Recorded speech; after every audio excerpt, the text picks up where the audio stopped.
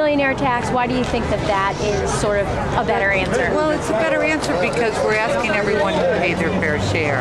And what we find in New York is people earning $40,000 earn uh, are paying the same tax rate as someone earning $4 million. And we feel that that isn't fair. And the only way, and no one, everyone's asked to sacrifice in this budget except the wealthiest of New Yorkers.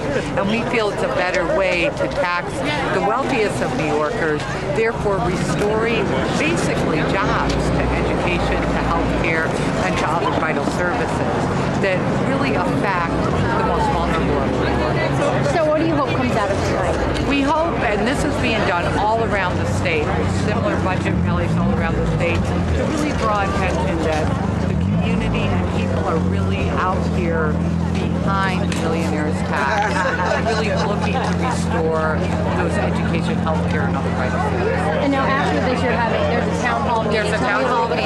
Um, a representatives, we've invited representatives from uh, Governor uh, Paterson's office, uh, from Don McCarthy's office, and from Senator Slivic's office, uh, to hear people have an opportunity to really express their concerns, share how these budget cuts are really going to impact our communities. And I think they'll hear an earful, and hopefully they'll be moved to really do the right thing and pass the fair share tax reform. And so you're hoping sort of laying it all on the table, Albany discussions with them, they'll hopefully bring it back up to Albany. And to understand really these cuts on paper maybe don't seem that drastic, but when you bring it to the community and the community people really speak to it, you really see how devastating are going to be. And now the fair share tax reform would, would tax people over two hundred and fifty thousand dollars. Now, what do you say that, you know proponents, people who are against this this reform, say that you know the, the rich already pay their share. What do you say to that? Well, they really don't. When someone's earning forty thousand dollars, paying the same tax rate as someone earning four million dollars, that isn't that isn't fair. It isn't fair. Don't take more from the poor. Don't take more from the poor. Don't deny our SSI. Don't take more from the poor.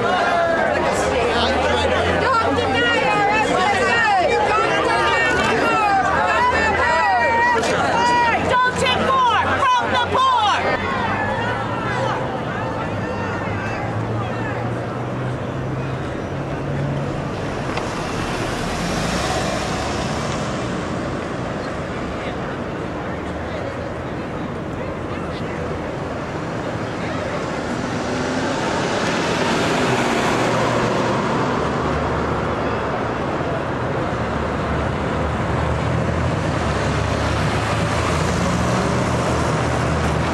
My name is Lea Webb. I'm a community organizer with Citizen Action of New York, and we have gathered here today uh, representing various labor unions, concerned citizens, educators, teachers, students. All right, for the students. As everyone here uh, gathered today is aware, and people at home are very much aware of the fact that Governor uh, Paterson is proposing to cut billions and billions of dollars to education, healthcare, and other vital care services.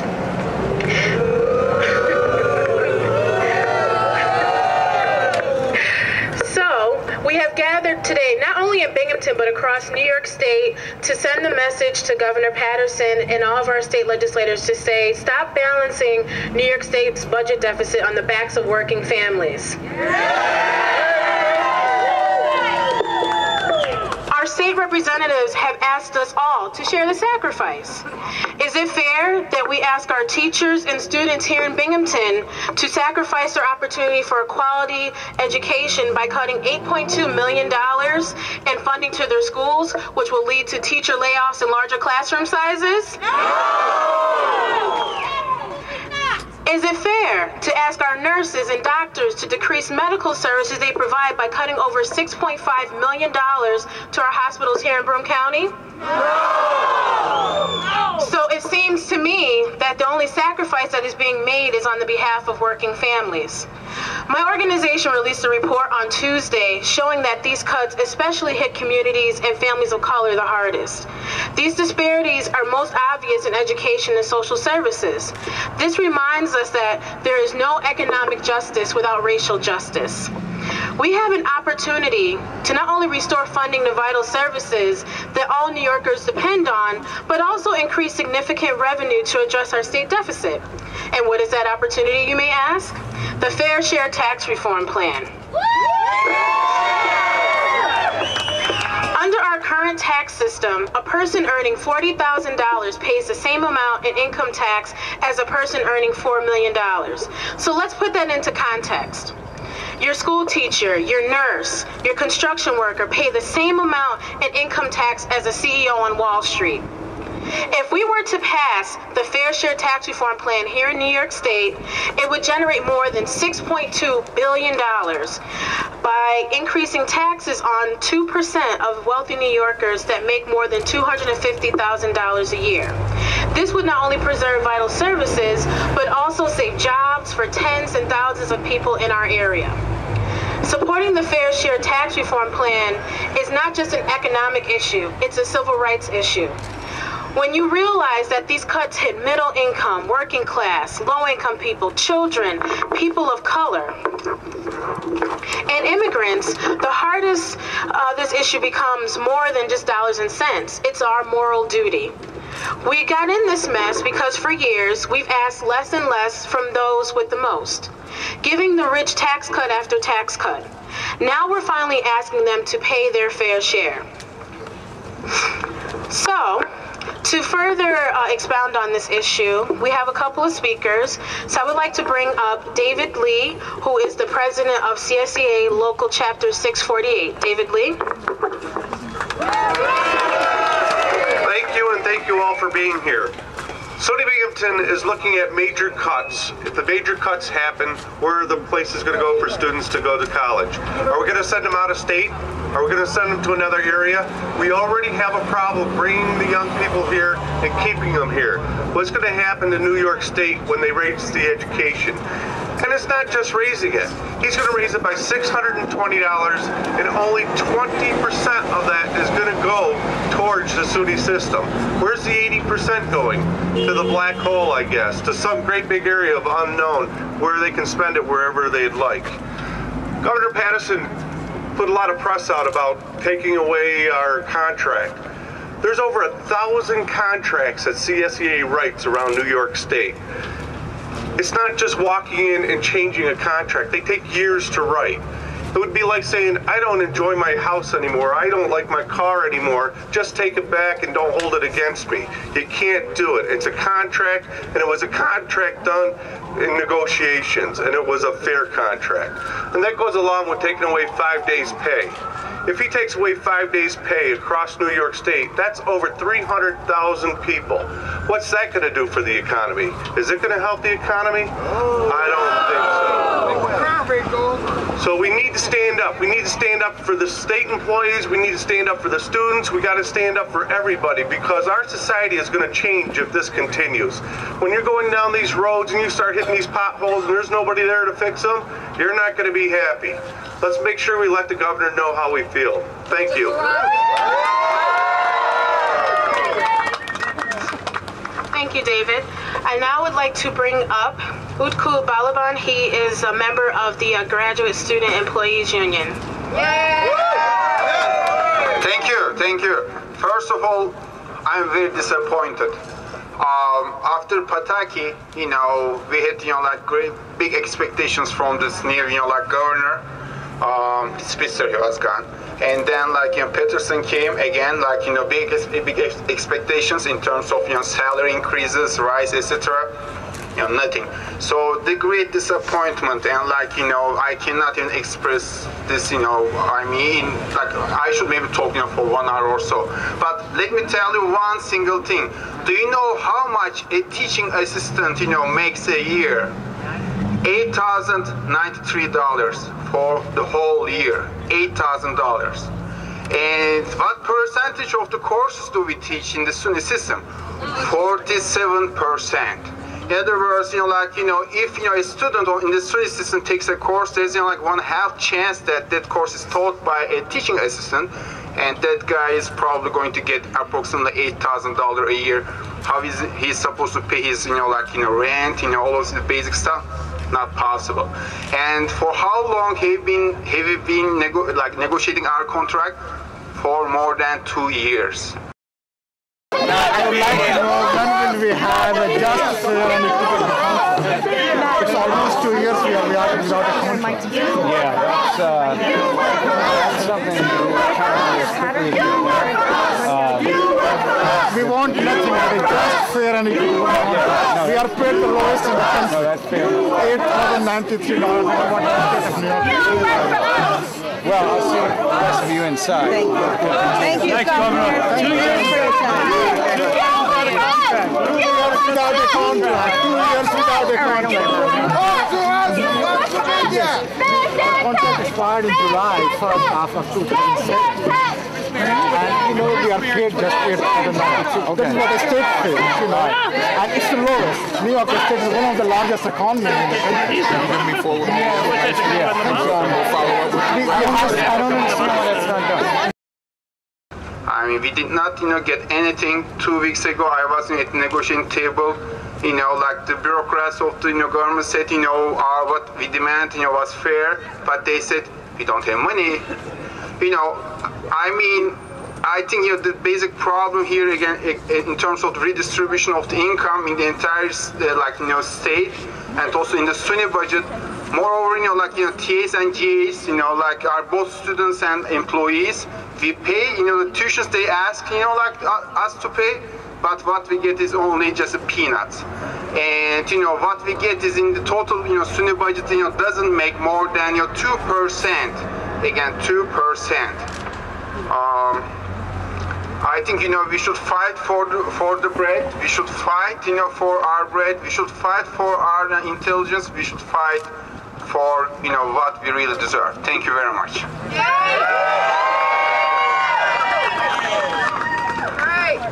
Our next speaker will be Mary Twitchell. She is the president of PEF. Mary? I got a promotion. Actually, I'm the Region 5 coordinator for PEF, uh, representing about 2,000 members within the five county area. And I didn't want to come here today. I told Mary Clark that. It's called that. But unfortunately, we all had to be here today because we were hopeful, as we, we always try to be hopeful, that they will listen and they will change their minds. But they haven't, so we're back here again, and we're going to keep coming back and keep pounding on people until they listen to us. And because I tend to prattle on and on, any of you that heard me speak the last time, I decided I'm just going to read an excerpt from a letter that all of our members have been asked to send to uh, their legislators. Uh, and I, you know, we've already had two other state employee groups speak, so I feel a little self-conscious, but I'm going to read it anyway because my members are here, and I know that you're you're out, you're going to support us as we support you, and as we take care of your families, your mothers, your fathers in our nursing homes, uh, Uh, in in our mental health facilities, in your drug treatment centers, do the roads, disability analysts. I'm going to read this now. Okay. State employees and retirees are middle class taxpayers who will be affected by the spending cuts and tax increases in the proposed budget, just like any other citizens in the state of New York. People seem to forget that. There was an article in the paper about, you know, state workers and I have to pay, I have my, their salaries are paid with my tax money. And I said, damn, I didn't know we didn't have to pay taxes. State employees pay taxes too, believe me. Okay. Um, for the typical PEF member, the governor's proposals would take away about $2,800 of income for 2009. The impact on certain retirees could be up to 5,435 annually because of the proposed shift in health costs.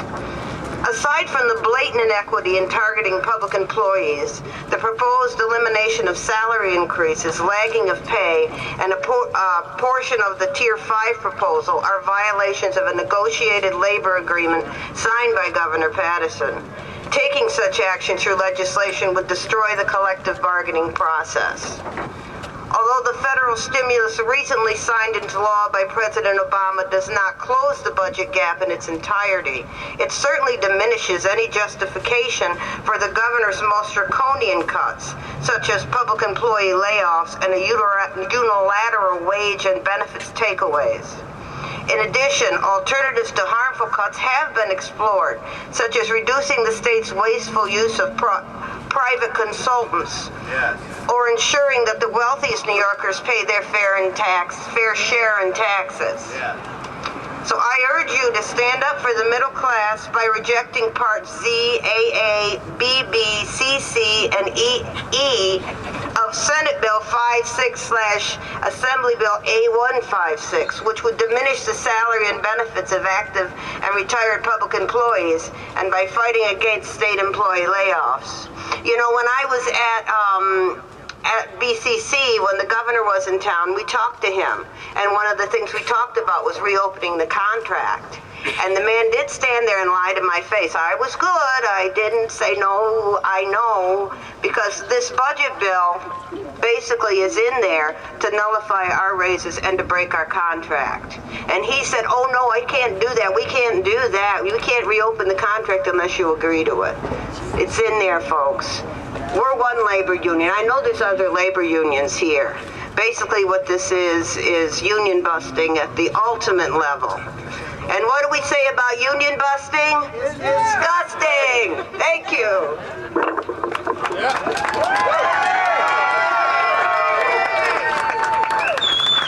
As I mentioned earlier, as our state legislators have called all of us to share the sacrifice and to shoulder the burden, there are some of us who um, are being even even further unfairly asked to sacrifice, and especially in the area of the cuts that are being proposed to uh, SSI. So to have someone speak uh, directly to that issue is Carole Kramer. She is a counselor with the Southern Tier Independence Center. Carole.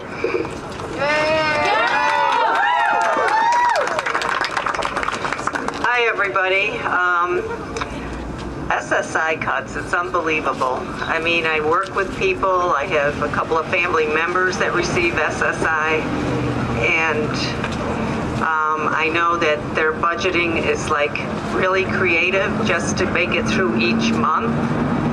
And um, the $87 state supplement is um, hasn't been increased for I, I forgot how many years now. It's always been the same. 20 years. 20 years. Thank you. 20 years. Thank you. Forgot that thing. So, um, I don't know. An individual on SSI gets $761 a month. Okay. The lucky ones, yeah. The lucky ones, right. right about that. Right. And uh, so if they live alone or, you know, and they're not living with others or they're responsible for their own support. But I noticed in Binghamton that the rents have gone way, way up. They're skyrocketing. I mean, you can rent a place for $600 and pay your own utilities, and you're getting $761. I was helping some folks look for apartments, and it was like, okay, you found one for like 325 or 425, but I wouldn't want to live there. I wouldn't expect anybody to live there. So, um, you know, so if you pay your own utilities, you know, if you pay electric and gas, your NYSEG bill is going to be like 150 at least a month. And then if you have a telephone, oh, sorry. I'm not talking into the mic, excuse me. A telephone would be like $30. That's, you know, whatever. And then you've got your groceries, your, um, I know some people get, yeah, you, yeah, utilities, right, other utilities. Yeah, paying for heat right. I mean, some people get food stamps, but the food stamps do not cover the whole month. Right. And, uh, you know, and depending on your living situation, food stamps varies whether you pay utilities or you don't pay utilities, and some people get very little. So, and the other thing is that most people don't have cars, they have to take a bus. Broome County recently increased the bus for the disabled pass. It went from $22 to $27.50 a month. So, so that's another increase. Regular was forty something. Yeah, and um, it's just more expensive to live in Binghamton. And then they don't you have washers and dryers. They have to go to the laundromat. You know that costs money. Putting those quarters in the slot, watching your stuff go. You know your money just goes. And um, you know they don't live in luxury. And I, you know, I can see it in my own family and the people that I work with. And um, they work very hard to take care of themselves the best they can. I mean, they have to buy shampoo and deodorant like the rest of us, toothpaste, all that good stuff, and your soap, and you know, so that at least they can go out in society and look presentable and not smell bad. You know. So, And then sometimes we still have to walk because we can't afford the bus passes. Right. And some folks don't buy the bus pass. They end up walking everywhere. And you know how this winter's been. Ugh, I wouldn't want to be out there walking when that wind's blowing. So, folks, you know, we've got to stop the SSI cuts. Yes. So, that's right. Right. Don't take more from the poor. Okay, thank you very much.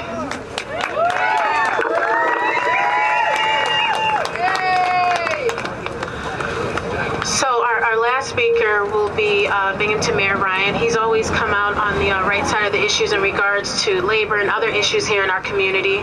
Binghamton Mayor Ryan.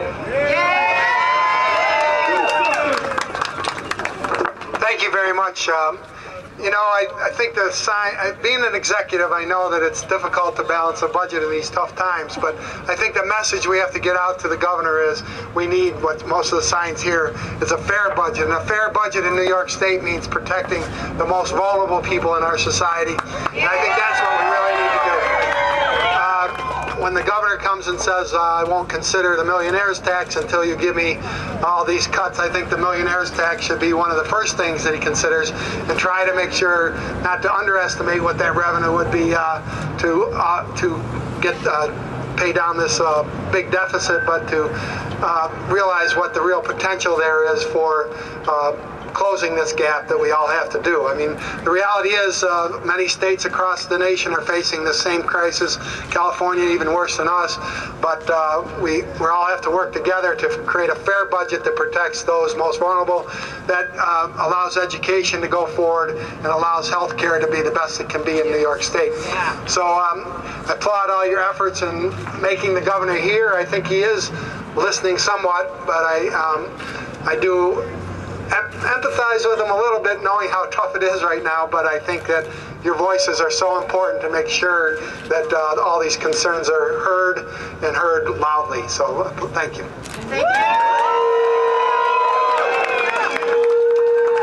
So, as I said earlier when we first started the uh, the rally, no one here is saying that we're not in a financial crisis. No one is saying that, but we're saying there are smart, more strategic ways to address New York State's budget deficit, and one of those is not balancing the budget on the backs of working families. Okay. The other thing that we're saying is that if we were to pass the fair share tax reform plan in New York State, it would generate 6.2 billion dollars, and it only we're asking our millionaires to pay less than one percent of their income to go towards addressing this budget deficit. And we don't think it's fair that we're asking people who receive SSI to sacrifice three percent of their income to address the budget deficit, where we're not asking those that can afford to pay more to even pay one percent. Does that seem fair to you guys? So, in conclusion, we're saying to Governor Paterson, all of our state legislators, to stop balance, uh, balancing New York State's budget deficit on the backs of working families and really invest here on the ground in the areas of education and healthcare. Those are our two largest employers here in, here in New York State. And if you're cutting those two areas, then where are you going to take New York to in the next century if you're not investing on the ground where it counts? Right? So we're saying be strategic, be smart, but most importantly, stop balancing the budget deficit on the backs of working families. We can't continue to shoulder this burden alone. Everyone needs to do their fair share here in New York State.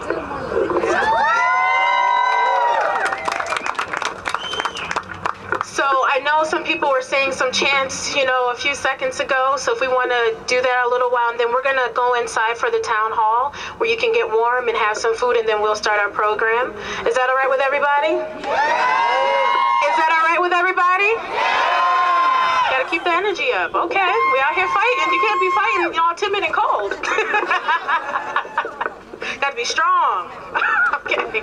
So, how about a real, real simple chant that basically says no to the cuts? Can everybody do that? Yes, that seems simple, right? So let's start that. Fair. Oh, we'll say no to the cuts. We need a fair budget. Can we do that?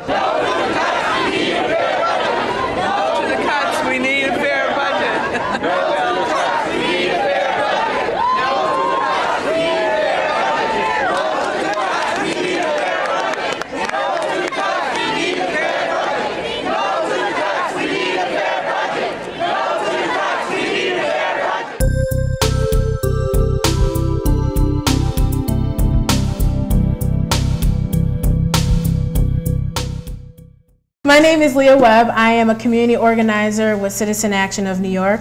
I am also on Binghamton City Council, so I wear two hats.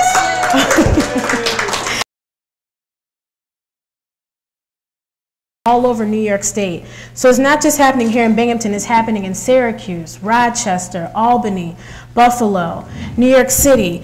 People have gathered, thousands and thousands of people have gathered from all over the state this night to send the message, this very important message to our state legislators to stop balancing the budget deficit on the backs of working families.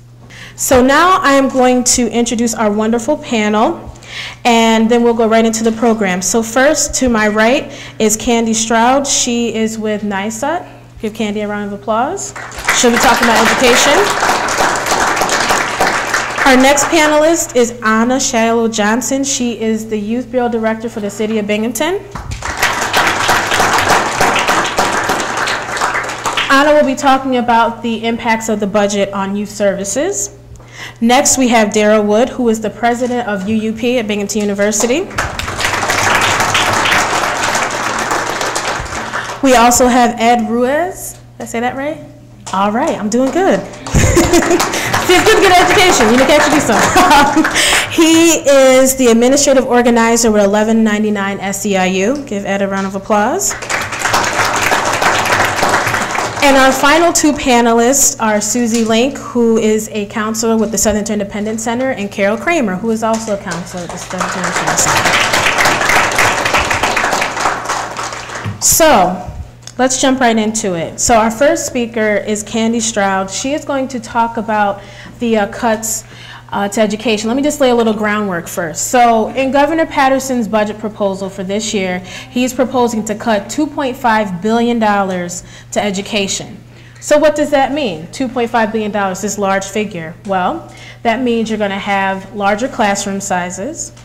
There's also the possibility of teachers being laid off uh, as well as after school programs being cut, a lot of vital services that really give our youth an opportunity to receive an education in our community and across the state and our country is at stake.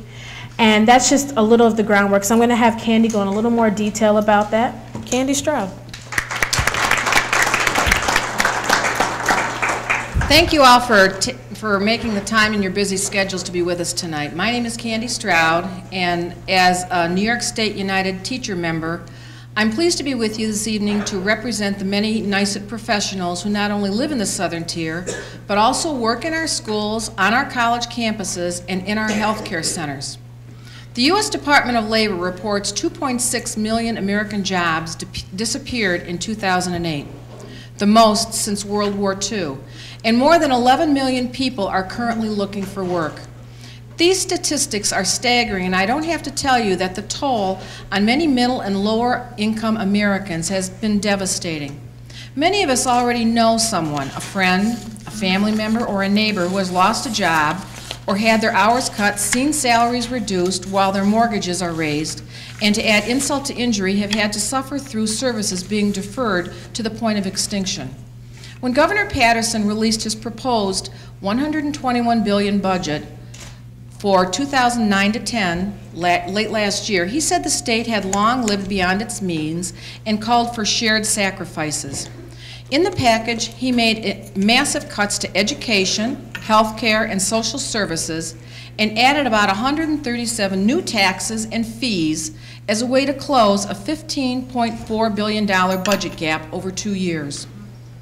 Under the governor's definition of shared, sacri shared sacrifices, aid to schools would be cut by $2.5 billion, a 12% reduction from the current amount promised under the state's formula to address in, in, inequities highlighted in the Campaign for Fiscal Equity court decision. Interrupting the formula now will not only set us back in our shared goal of closing the achievement gap, but will also retard the gains already made in, in, in increasing student performance. By Governor Paterson's definition, shared sacrifices not only means budget cuts, but also new fees, taxes, surcharges on sugary sodas, movies, health insurance, clothing, haircuts, and countless other basic necessities that particularly affect the poor and middle class. As Governor Paterson defines it, shared sacrifices means a regressive state income tax in which we have the same tax rate whether you're making $4,000, $400,000, or $4 million. Contrary to what has been said by some in Albany about shared sacrifices, the pain in this budget is not spread evenly, nor will its effects be felt equitably. As things stand now, working middle class families will bear the vast majority of the pain. The billions of dollars in cuts the governor has proposed for schools and healthcare institutions would trigger tens of thousands more layoffs and hurt society's most vulnerable precisely at the time that they are counting on and need strong public services to help them through this crisis. As a society, we have a responsibility to not only do our part to fix a broken economy, but to also ensure that its victims get what they need to get back on their feet. The budget proposal Governor Paterson presented to the legislature cannot be allowed to define us. That proposal, if enacted, reduces or eliminates essential services and programs to middle and lower income families. At the same time, it allows too many of our wealthiest citizens to avoid their responsibility to the common good. While the governor continues to talk about shared sacrifices, he presents a budget that raises taxes not nearly enough on those who can afford it the most and unfairly burdens those who can afford it the least. Taxes on our health insurance, our clothing, haircuts, and countless other basic necessities is bad fiscal policy. Bad public policy is regressive and is just plain wrong. If Governor Paterson truly wants to walk the talk about shared sacrifices, then real and meaningful tax reform must be part of the solution. New York State has cut its top personal income tax rate by more than 50% over the last 30 years, from 15.375% to 6.85%. Tax cuts enacted since 1994 are reducing state revenues by more than $16 billion annually. These are funds the state can ill afford to forego in the tough economic times of today and the even tougher times of tomorrow. To our legislatures, I, I, urge you to raise the revenue to avoid the harmful cuts that will undoubtedly befall us if Governor Paterson's proposed budget is enacted. I'm confident that your steady leadership and good counsel will help guide us through this difficult time in the most fair and thoughtful way possible. NYSUT and our members are waiting, watching, and counting on you to stand strong and advocate for the sustainable funding necessary to close our ever-widening economic gap. Thank you, Henry.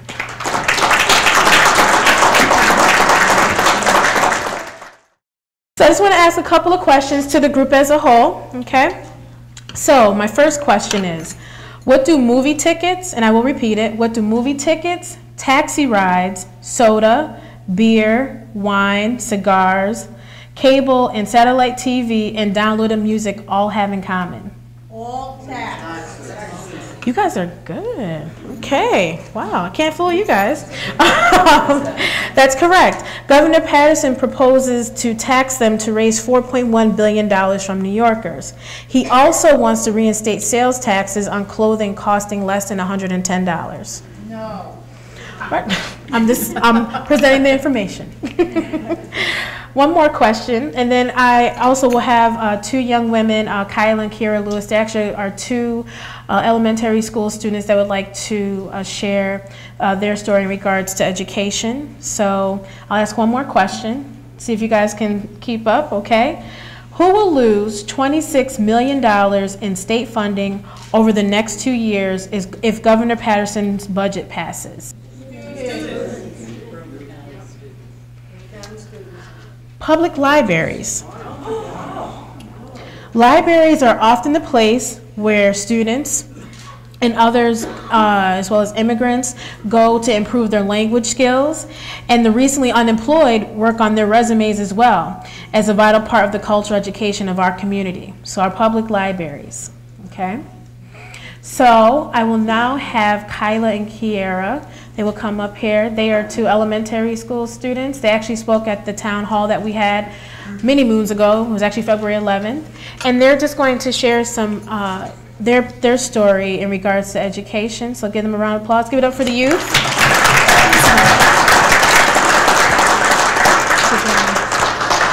Hi, everybody. I'm Kiera Frank, and we need this money for our schools, for our books, for our after school program, and art. So, if the government takes this money away from us, what are we going to do? Are we going to learn or have less education? Um, um, we're losing lots of money in our schools already. Um, for like, we need more school supplies, and if we get our money taken away, then we will have less school supplies, less books, and I love to read and do art and stuff, especially my art room because it has less materials than last year. So, do we want our money taken away from our schools? No. So, should the government's money pass? No. So, we should help support our schools and our libraries. Yes. Thank you. Yes, thank you. And Thank you, everybody. So our, our next panel speaker is um, Anna Shalo Johnson. So I'm going to ask a couple more questions before I bring her on because I said we'll keep this interactive so we don't, you know, get inundated with all the stats. We want to keep you guys, you know, your pulse still uh, going and everyone. Plus you got the food in you. It's going to settle. We'll make sure you're still with us, okay?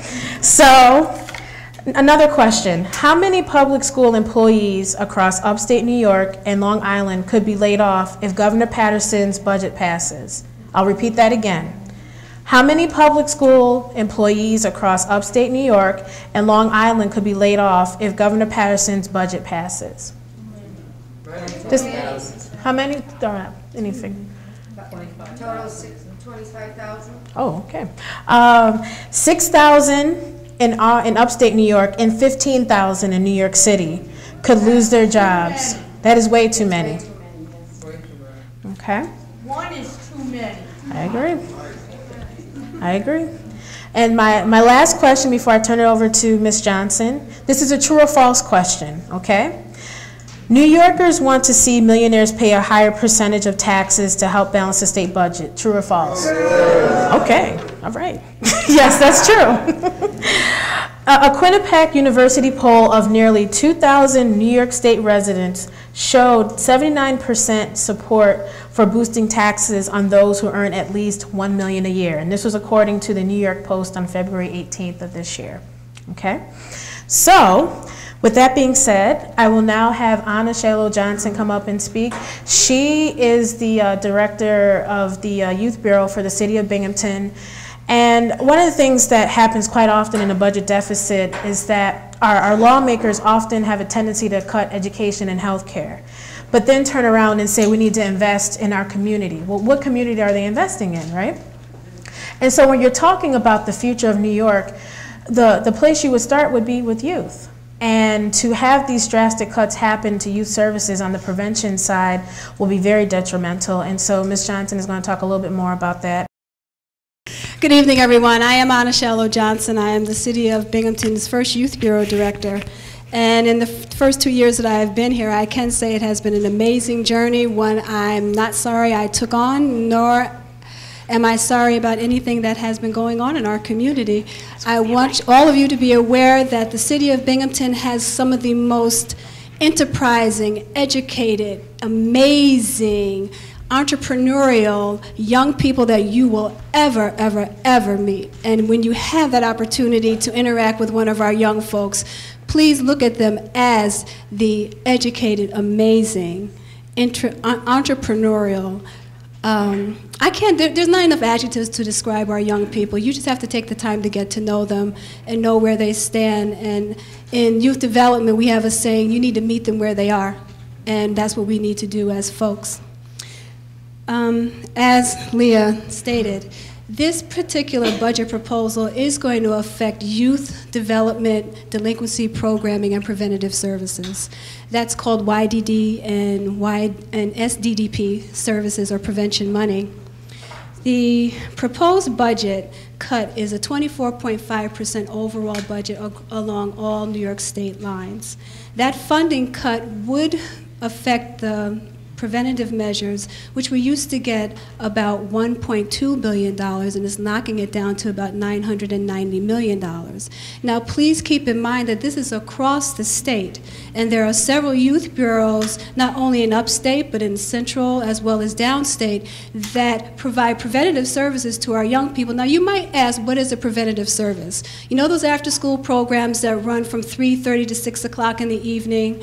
Do you know, like Boy Scouts, Girl Scouts, um, the Haven, which is a local after school program in our area, services administered by the Urban League, Catholic Charities, TTLP. I can go on and on about the services that are available in our community, programs that are offered by STEP. Planned Parenthood, those organizations that sometimes we don't want to hear their name, but they are actually educating our young people to be leaders within our community. These particular organizations are definitely going to be affected by this particular budget cut. In addition to that, not only are we facing a budget cut, but we're also facing something that's called a youth programming block grant. Now, what that particular thing is going to do is not only have us take the budget cut that's going to supposedly that's going to be imposed across state lines, across all budgets, but it's going to combine all of that money and all of those services into one thing, one grant. Now, when I say services, I'm not just talking about preventative services, I'm talking about secure and non secure detention services, which are mandated by New York State.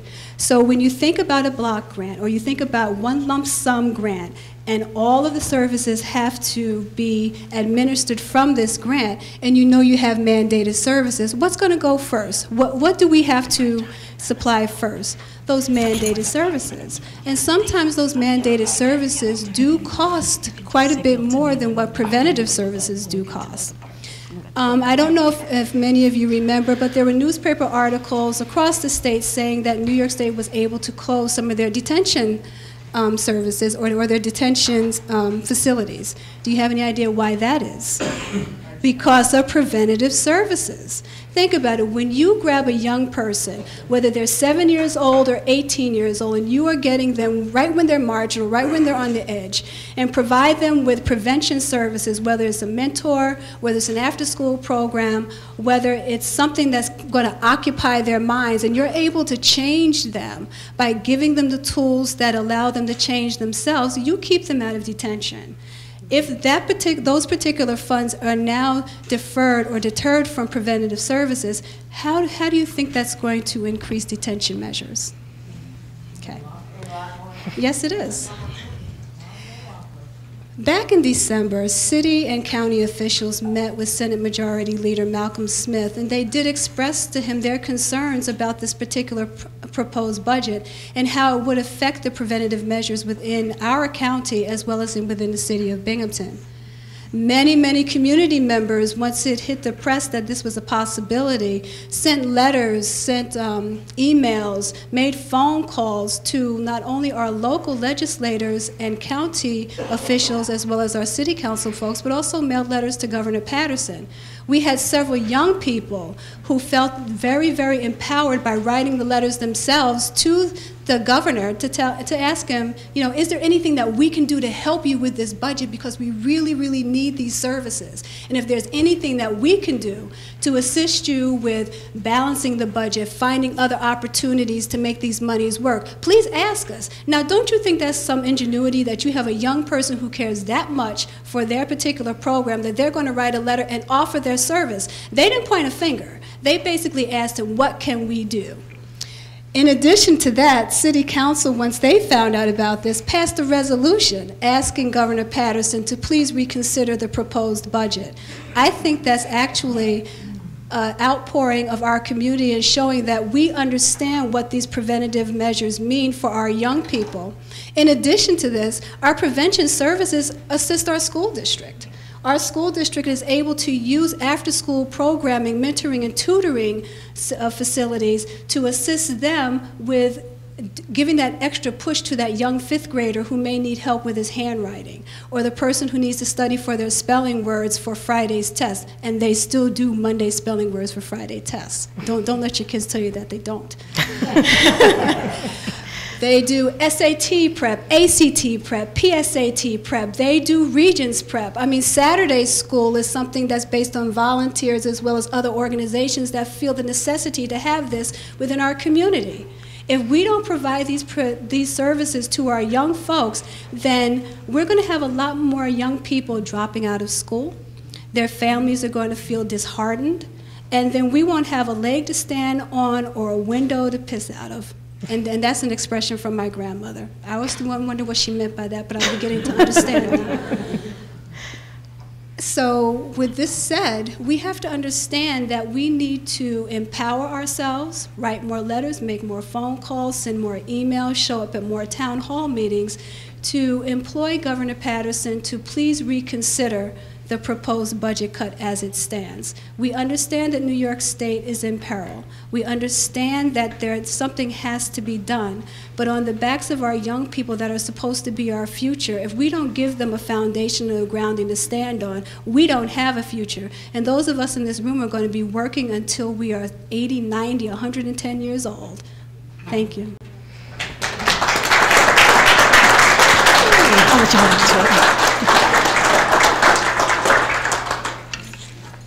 So, as promised to keep this interactive, you guys, are you guys still with me? Yes?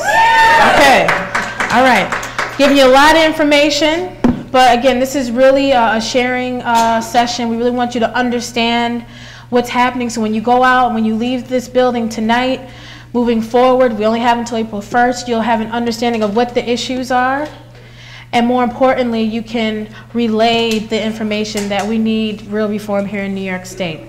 So, Next question. What percentage of Broome County residents earn over $1 million? Okay, gotta laugh. I'll repeat that again. Okay. what percentage of Broome County residents earn over $1 million? 5%. 5%? 0.25. 0.25. Ooh, that's real low. Okay. Well, the answer is one tenth of 1%. Only three fifths of 1% earn over $250,000. And under the Fair Share Tax Plan, only 802 Broome County residents would see a tax increase. Okay? Next question. Okay. In the Binghamton City School District, how much money does Governor Paterson propose to cut our elementary, our elementary school classrooms by? Any figure? Throw it out there. Give me a 1,000. I'm just kidding. I'm not watching it. I'm just kidding. Any, any ideas, any thoughts? Okay, that sounds like right, exactly. But the answer is $23,210. And he proposes cutting $28,671 per eighth grade English classroom. And this came from the Fiscal Policy Institute and the Alliance for Quality Education. Okay. Our next speaker, actually, our, our next personal story uh, will be from Kevin Maines. Is Kevin? Oh, okay. So Kevin is going to speak in regards to some of the things that you're hearing in the media, local and across the board, as our economy is in the tank, right? No one will argue with you on that. People are getting laid off all over the country by thousands and thousands. You have people lining up even more so today for food banks and food pantries. A lot of people who are applying for unemployment, people losing their health care, all of these, you know, really dark statistics that are plaguing our local community and our state as a whole. And uh, Kevin is actually going to share his personal story. So if everyone can give your attention to Kevin Maines. Kevin? Thank you, Lea. Thank you. Can you all hear me? Hello? Yeah. Okay, because back here you can't hear up there, okay. Um, my name's Kevin Main. Uh, and that's M-A-I-N for those taking notes, no E, I'm not, a, I'm not a member of that family. Um, I'm 51 years old and I uh, have been recently unemployed, so I guess I stand here as the face of the unemployed so far. Um, there's others in this room. I uh, worked at uh, Hurley Trucking Company, a local trucking company, from 1988 until 2008 of last year. After an 18-month um, organized union busting campaign on the part of the company, uh, me, my brothers and sisters that worked there, and I had 20 years with them, no longer employed there. Um, and that went unnoticed by the local media, if any of you are left here. Uh, in the millennium, during the during the summer of 08, I was fortunate enough to uh, get on the, the, local job with the Millennium Pipeline. Um, where I'm going with this is that in 1987, I suffered some uh, heart problems, and it wasn't a heart attack, but it was it's it was costly as far as my medications now, where I've got to take eight medications a day. Um, so becoming unemployed, that was the first thing that came to my mind. Where am I going to get my uh, insurance from? Uh, I got through the summer and I still have insurance. However, a lot of you might not know this. Um, we, we, I've heard people speaking that, um, and, today outside and in, in this room, about those, uh, the, the, unfortunate that can get help, um, those that, that are uh, that are poor. Um, the middle class, though, I want you to know, like myself, I cannot get any help right now. There is no health insurance. If you don't have health insurance, the uh, programs in New York State offer are for those that are poverty stricken, and by that they go back against your last year. So obviously I made an income last year. Now that I don't have an income other than unemployment, uh, it's my responsibility to come up with health care. Thanks to a good union contract, I still am, am carrying health care, but it's going to be cut if I don't find work soon, and that would be union work. Um, the COBRA is very expensive, obviously, for many of you legislators. You know that you've gotten us that in the past, but COBRA is not for everybody because you still have to pay in order to buy it. And uh, when you're unemployed, obviously, you know the problems with that. After, and even if you can afford the COBRA, you still have you still have to worry about co-payments. Uh, uh, by that I mean walking into the doctor, co-payments here, co-payments there. When you're getting uh, uh, uninsurance or unemployment insurance at $405 a week, and if you uh, if you choose to take the 10% uh, federal withdrawal for taxes, we're talking uh, $350 or, or $345 to take home a, a week. insurance is, is half, if not more, of that a week. Um, so basically, what I, what I would like to say is that, uh, uh, in, in conjunction with what's being said here tonight, is that as far as health insurance goes, and that's that's where I where I have a worry. Um, right now, of course, it could get worse. I mean, we, I was able to put away a little bit of money knowing that we were going to become unemployed, or I was going to become unemployed. Um, but where we're at right now is the taxes. And of course, I believe that the one or two percent and finding money from other sources rather than soda pop and what, the, what, what things that are the everyday person is spending on, I think it's important that we find the money that's needed from other sources, and that money here is in the highest paid in New York State.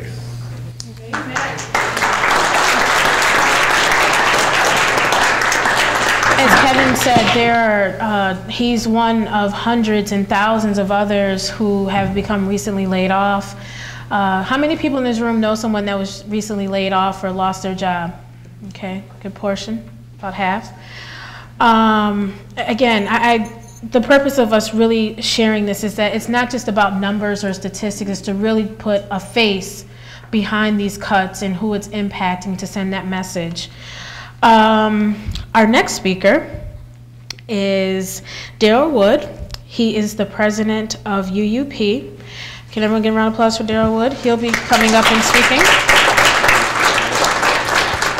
And I have one quick trivia question before it comes up, so I want to make sure you guys are still with me. Sorry, Daryl, I just, I just realized that. You can, I know I'll hear about it later on after we're done. Um, the bigger, better bottle bill would require deposits on bottled water, iced tea, and sports drinks. It would also require beverage companies to return unclaimed bottle deposits to the state rather than keep the money as profits. So my question is, how much money would the beverage industry return to the state if this law was passed? $200 million a year. Close. Close. Any other um, ideas? Four, four, four million. $140 million. That's, that's until you expand the pool. Now, when you expand the pool for the other containers, Mhm. You're well past $200 million Yep. a year that belongs to consumers and that's unclaimed deposit. That's right. And uh, it was always held up in the Senate. You might note that uh, Senator Bruno, ex-Senator Bruno, regularly got donations from these bottling companies. And that's why we haven't gotten to that bottle bill in the last 15 years that we've been trying. Thank you. Thank you for Is that going to jail? Yep. Uh, he's indicted at the moment, but he needs a fair trial, then he's going to jail. Thank you. Thank you. Thank you, everybody. I said I wanted to keep it interactive. Thank you, sir. Okay, so now, are you guys still okay? Okay. Our next speaker, I like this energy. This is good. All right, so now, Daryl, you can come on now. Everyone give Daryl a round of applause from the UP.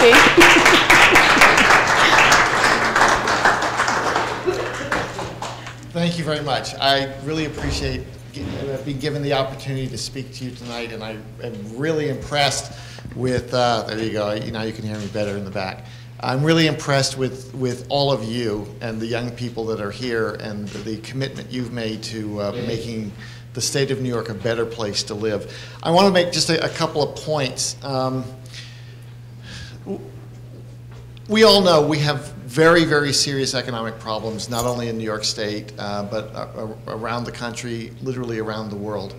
Um, and we, we're going to come out of it. We all know we're going to come out of it. Um, and there's a there's something you have to do. I mean, and, and it's happened in the past, and, and people are doing it already. Is the way you get out of economic problems is you have to plan for the future.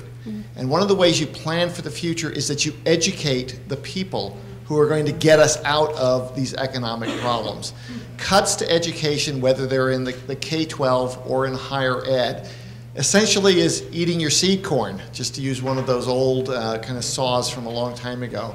Uh, it is an investment in the future. If we don't educate our young people, who is going to take care of us when I get a little bit grayer than I am now, and those young people who are here are going to get a lot grayer. Uh, we have to maintain those kinds of services because if we don't, we're going to have very, very serious problems. In every economic downturn that's occurred in the past, what do people do? They say, times are bad, maybe I'm not working as much as I can. What I should do is go back to school, get it, get a better education, prepare for the next job. Okay, uh, specifically at Binghamton, they already have over 30,000 applications for uh, enrollment at Binghamton this coming year. That's up. We're only going to, going to accept 2,700 students this coming fall. Think about that for a moment. Okay, there are tens of thousands of students in New York State who want to attend who will not be able to get a college education because of these cuts. Okay? You may know that the governor has proposed, and actually they've already implemented, a tuition increase. It's actually started this semester and it's going to go up again in the fall. Supposedly, SUNY's going to be able to keep 20% of that those tuition dollars. Guess what? The Division of Budget is playing with the numbers, and they're assuming a much higher enrollment than actually what's going to occur.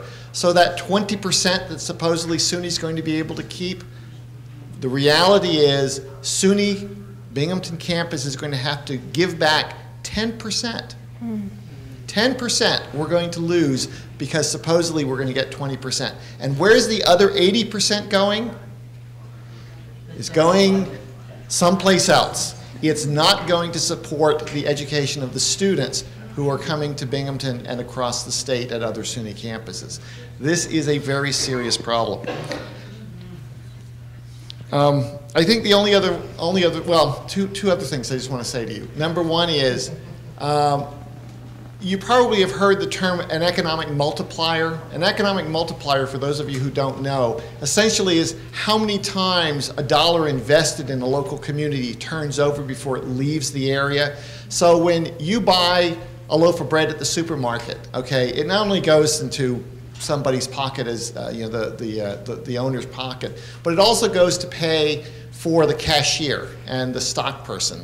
And uh, they're going to spend you know their little bit of, of money and they're going to buy a, a, a, shirt okay? And that the price of that shirt is going to help pay for a cashier as well. And it turns over in the community before it leaves.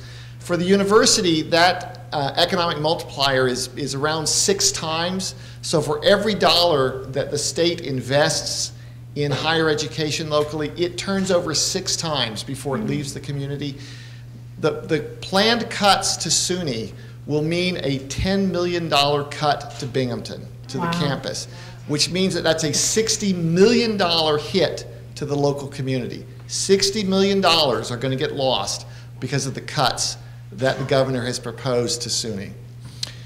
The last thing I want to tell you is something I just want to repeat and, and, and emphasize something that's been said before, and it's kind of an undercurrent of everything that's happening tonight, which is you can make a difference. Okay? It is your phone calls, your letters, your stopping your legislators on the street, going to their office. When they hear from you, they will respond.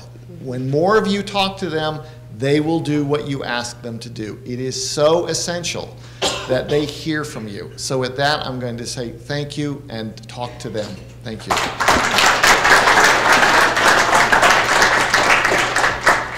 Before we go to our next speaker, as promised, we're going to have another what? Trivia question. All right. So, okay. Uh, just to add on to what Daryl was saying, uh, a lot of times when you're in uh, an economic downturn, economists say it does not make economic sense nor common sense to make such drastic cuts to education and healthcare because that's what's going to bring you out of your economic downturn. And it's also important to remember that your vote is what put them in office. So they are beholden to us, okay? So don't take this uh, town hall tonight as your only opportunity. It really is about us really working together and having that one unified voice to send that message. Because again, including me, I work for you. I'm putting on my city council hat for a second. Now I'm gonna take it off. So I'm back to community organizing. All right. So as promised, another trivia question. As New York State institutes a hiring freeze, it has continued to allow overtime by state employees to get services performed. How much money did New York State spend on overtime in 2008? About eighty thousand. $485.7 million.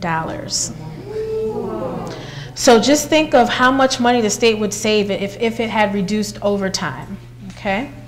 And that source came from fightthecuts.org, a website that we are responsible for Citizen Action, okay? Um, one more question, is that okay? Can I give you guys one more question? We go to our next speaker? Yeah. Okay. So, if New York State started purchasing prescription drugs, and this is a good setup for our next speaker, so there was an intention behind it. if New York State started purchasing prescription drugs in bulk for Medicaid patients, state employees, and retirees, how much money would it save? Millions. Millions. It would save around $100 million every year. Okay? So, with that being said, uh, you've heard a conversation about healthcare. Everyone from our uh, President Obama, who said that healthcare is our priority. Uh, no one can deny the importance of having quality, affordable healthcare, not just health insurance, healthcare. And so I will now turn it over to Ed Ruiz, who will talk about healthcare in the context of the governor's uh, budget proposal. He is the administrative organizer for 1199 SEIU. Ed, give him a round of applause.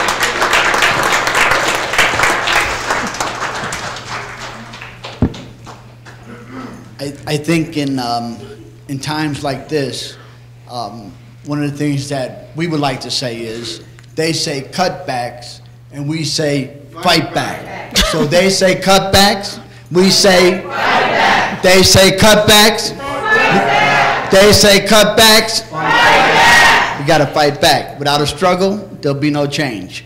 Um, I am here representing 1199 SEIU. Um, we, uh, 40,000, 400,000 healthcare workers across New York State. Um, also with, I'm here with uh, Menina, who is the healthcare education uh, program um, person, or go-to person here in the Southern Tier. Nina? Um, Governor Paterson is proposing massive cuts to health care, um, which could total $2 billion. When the loss of federal and health plan contributions are included, you know, we're talking about a big piece of money here.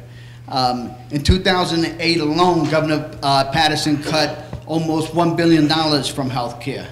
Um, it was one of the hardest hit areas of the state budget.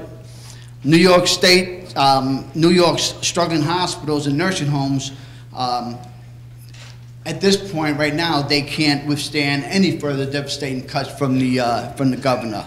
If, uh, if, the gov if Governor Paterson's uh, destructive cuts are passed, New Yorkers will suffer in, I'll just mention a few ways. Hospitals and nursing home closings, which um, I was talking to one of my coworkers today from Buffalo, and she told me that one of the nursing homes that she represents, uh, they just heard it over the news that they're, they're shutting down uh, because they can't continue to operate.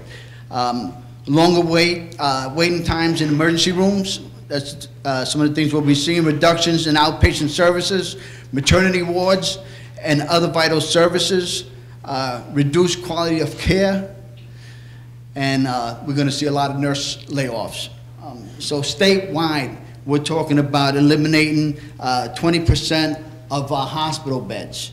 Uh, we're talking about laying off um, like 14,000 nurses, you know, eliminating four plus million outpatient clinic, clinic uh, services or, or, visits. So um, once again, I, I, just like to say, they say cutbacks, we say, they say cutbacks, and we say, they say cutbacks, and we say, thank you.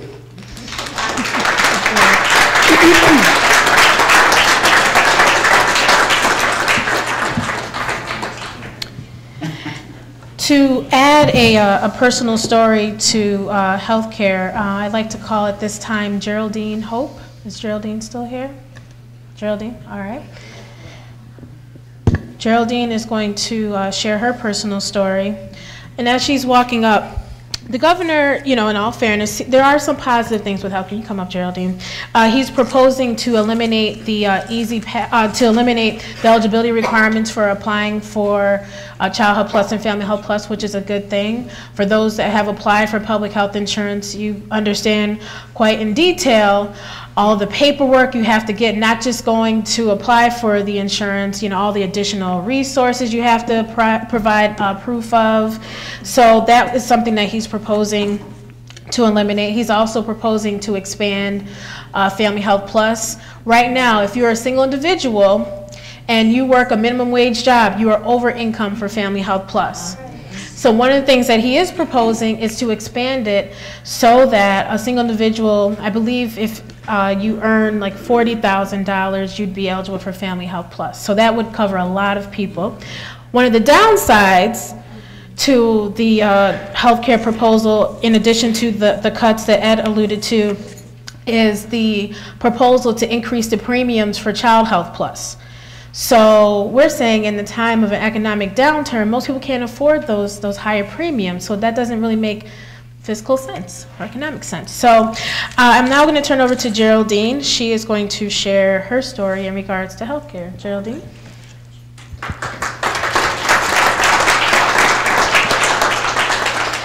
Good evening. Good evening. Um, I'm one of the little people. That's the way I feel. And um, I'm willing to do whatever it takes to make a difference. I totally agree with Ed about Fight Back. I am a single parent. I'm raising five grandchildren. I have been in the nursing, healthcare, uh, let's see, I've been doing this for 27 years. And I take pride in what I do. And uh, it really upsets me. They're talking about making these, these cuts here in, in the nursing homes. And um, a half a million dollars. The facility that I work in, that means that it could possibly be closed down, which means we will lose our jobs, nurses. Let alone cutting back on the quality of care that we give to our residents and our patients. So what does that mean for me and my family? It means that there is no after school programs. All this, this cuts affects me totally, me and my family totally. No after school programs, no uh, daycare providers, um, no recreation whatsoever for me and mine. Um, loss of my house. So what am I supposed to do? What are me and my children supposed to do if I'm without a job? Healthcare alone, health insurance. I try to like balance and budget the best that I can. So what am I supposed to do? Say to help with my children? I work hard, I'm a taxpayer. I want to make a difference. We need not let this happen. Thank you.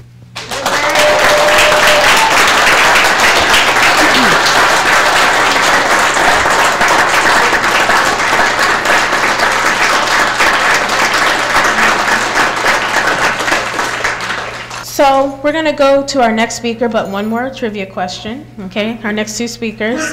And then we're going to go into the, um, the question and sharing portion of our program for about 25 minutes. And then, like I said, as earlier, we're going to get you all fired up, get you all knowledgeable, and then we're going to figure out how do we address these cuts, right? Because that's what we're here to learn, out, learn more about, correct? Okay. So just two more trivia questions, and I promise I won't bore you anymore with that, but. and whoever gets the answer right to the last question, they get a nice consolation prize. I'm just kidding.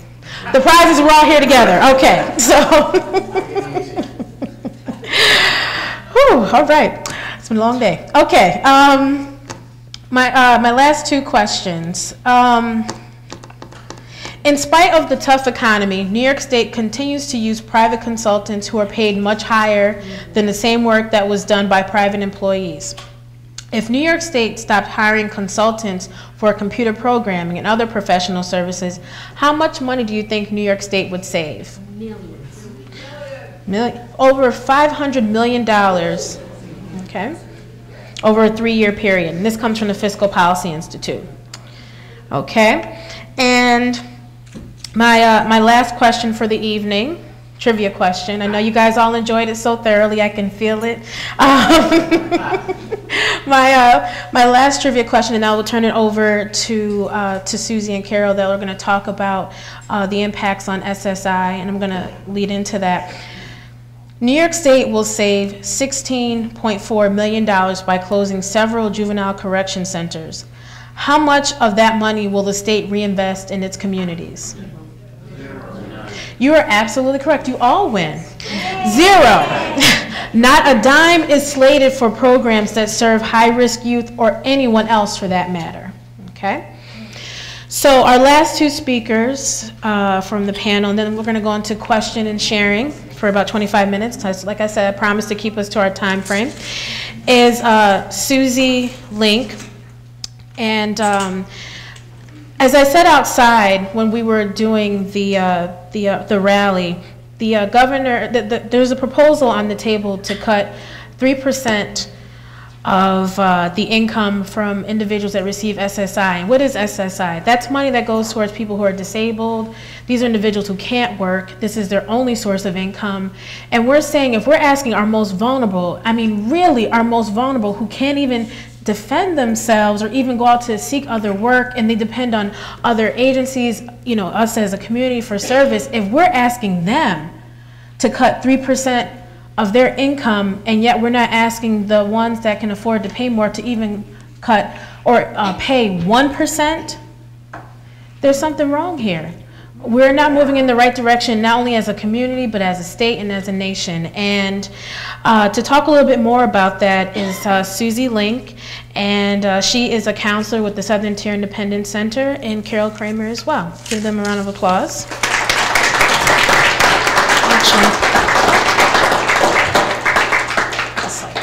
This young lady thought being 5'2 was rough. Try being 3'9.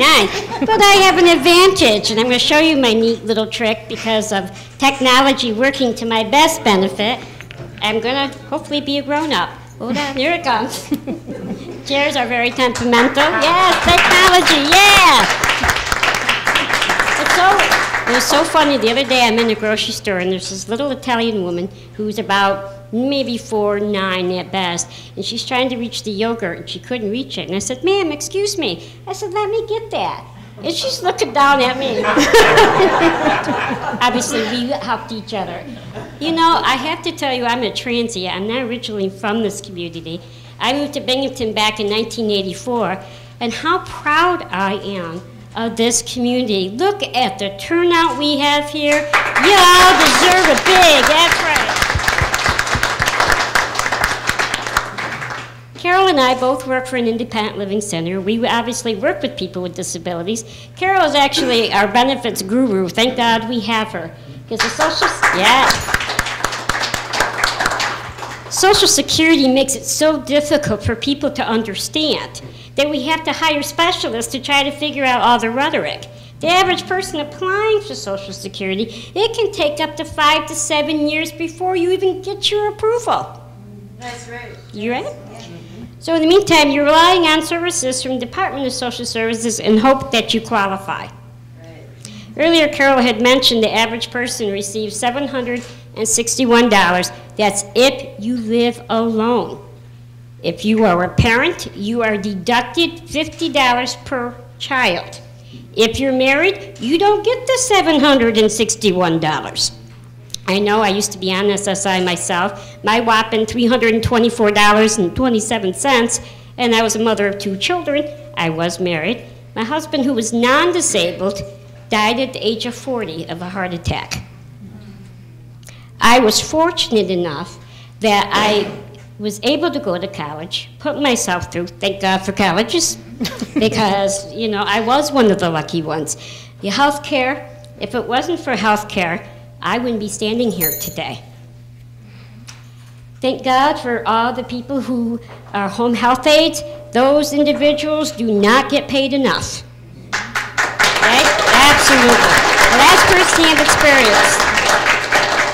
So now I, we, I'm going to stick with the 761 as an average, but like I said, keep that in mind. That's only for single individuals. So when I looked in the newspaper, I had to average between $500 and $600 a month for rent. That does not include utilities. That brings me down to $261. Now, Carole mentioned about bus passes.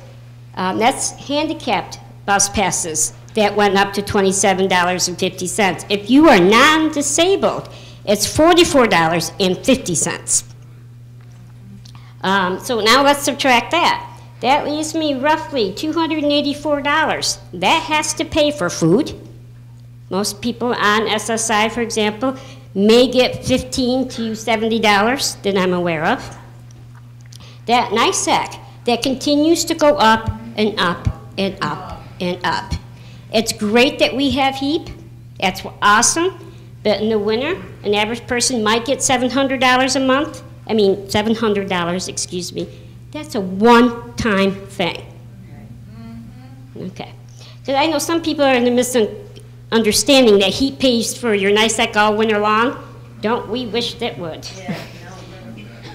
My last NYSEG bill for one month was $324, and I only rent a two-bedroom apartment, and there's just my son and I. Um, so I can imagine what everybody else has. It does not count the garbage bags that we have to, you know, the Green City bags that we have to pay for. Not complaining, I'm just saying this, all these little things, like they add up. Sorry, Lea, was no pun intended. Whoops. I didn't even think of that, I apologize. No, it's okay. Um, it does not include personal hygiene, like Carole had mentioned earlier. I don't know about y'all, but part of my health condition too is if I don't keep my body clean, who the heck, A, is gonna wanna come near me. Two, talk about bed sores. That can actually kill somebody. Self-respect. I'm a counselor at Southern Tier Independence Center. One of the things that I do is working with individuals to empower them to be the best person they can be. And if you don't have the hygiene products, I don't care what personality you have. okay, can't read mine. Oh, my favorite. Governor Paterson, who wants to talk about healthy eating. Woo-hoo, Right? We all gotta eat better? Yeah. Let's put taxes on drinks that we can't afford to begin with. We don't have enough money. Majority of individuals that we work for, tell me if I'm wrong, Carole, don't have the income to eat healthy. If they get one healthy meal a day, and that sometimes is considered a box of macaroni and cheese and hot dogs, to me, that is not healthy living. Now, if you have children in that equation, you're going to make that dollar stretch. Now, mind you, we're still going on the $761. Um, oh, let's not forget. Some people are fortunate enough that their parents or whomever may have left them cars. What a luxury that is, isn't it? Mhm. Exactly. And gas prices were doing what there for a while? You know the cell phones some of us, out of necessity, like personally, you might see me running around the city of Binghamton going to different appointments, but I use a cell phone. I don't know, I didn't find this out till recently, but there's a luxury tax on cell phones. I didn't know that. Somebody at Verizon pointed that out to me. And I said, that's where I'll make, because my normal bill should be about $40 a month. By the time you add all the taxes, it's about $75. And people say, well, how can people afford cell phones? They're not a necessity. Okay, I, you know what? I was on Social Security, and sometimes you have to rob Peter to pay Paul. Okay, and there were times I couldn't pay my telephone bill. And it took me a long time so I, until I was able to work to pay that back phone bill. So some people go out and they get those prepaid cell phones or, or cell phones because that's the only option that they have.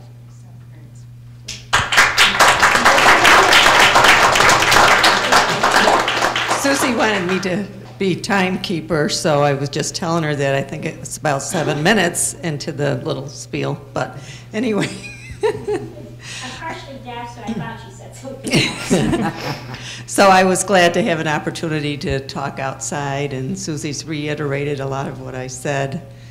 And, um, you know, we just have to speak up and let everybody know that this is not acceptable.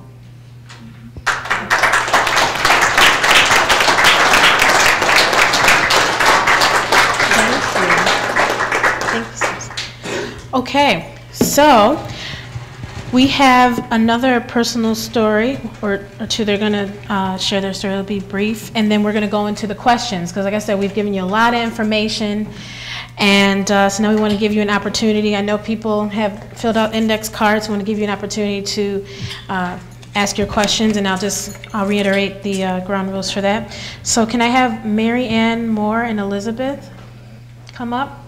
Give them, give them, give their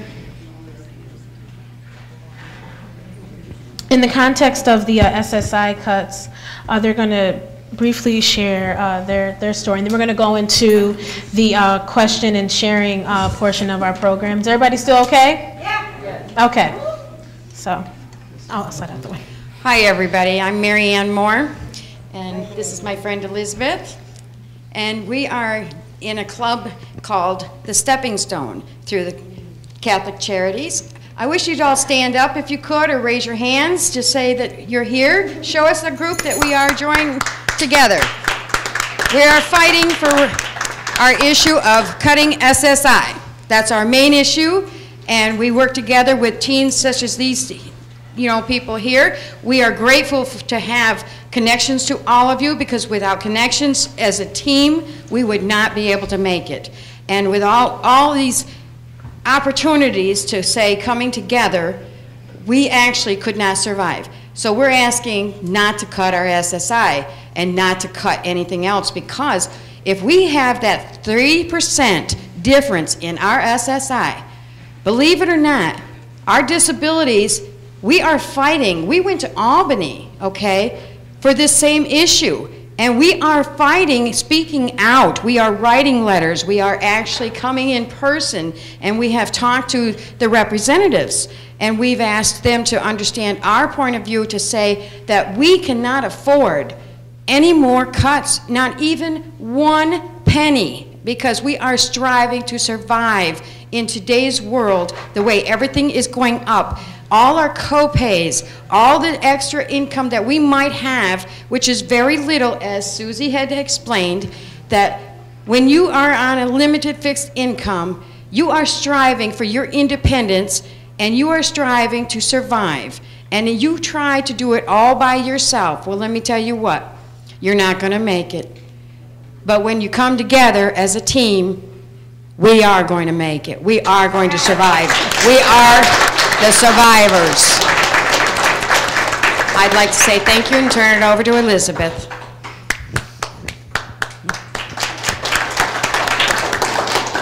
Good evening. My name is Elizabeth Elena Vera, and I I would like to say start by saying that I am a 19-year survivor of a violent crime where I was shot through my arm and my chest in an attempted kidnapping, and uh, some of the side effects from that experience was I received a bad blood supply, so I'm now HIV positive, have been since uh, 1990.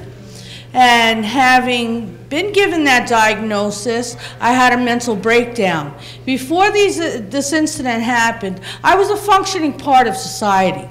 But after having this violence thrust upon me, I, I had fallen into despair, in and out of prison, and it's just been very, very trying. And the governor is proposing to propri proprietize some of the drugs that are very important to me. We're talking about life-sustaining antiviral drugs. I need my antiviral drugs, my HIV meds. They are important.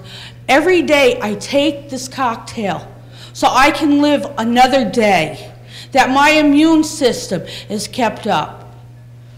And it's very important that he not cut and proprietize these drugs. It's not only the HIV antiretrovirals, it's also the antipsychotics, the antidepressants. These are life-sustaining drugs for many, many people living on SSI and those not on SSI. My one pill a month is over a thousand dollars. I'm taking four different antiretroviral drugs. No, I need my medication. And I would also like to touch on the SHU bill. It, it was a promise that people who were incarcerated with mental health would receive mental health services. If they are not receiving services and rehabilitation while incarcerated, when they are released, they are set free upon everyone in the community and their behaviors are very disruptive. And if they are not treated while in prison, then you're unleashing a monster. We need people who are incarcerated to have their mental health services because they're going to be all over the place when they come out. They need stability before release. They need rehabilitation before release. And I'd like to thank you for your time.